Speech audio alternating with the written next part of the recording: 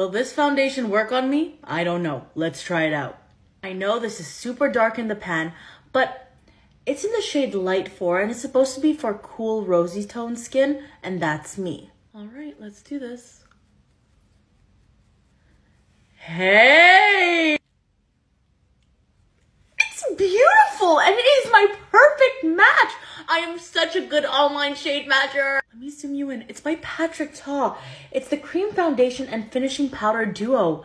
I'm in the shade light four. So this is a cream foundation and this is a finishing powder. Let's try that next. Seriously, that color match really and truly shocked me. I just,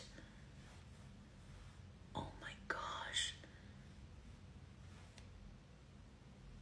This is really good. You see how it's just blurring my skin? Patrick Ta, what have you done?